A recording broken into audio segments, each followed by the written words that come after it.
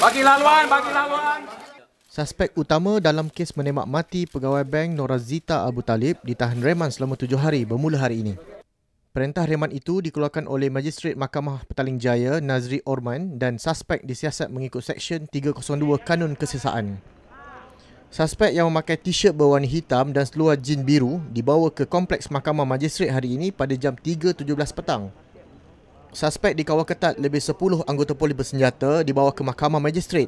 Suspek kemudian dibawa keluar pada jam 3.40 petang dengan kereta polis dan diiringi 5 kereta polis yang lain.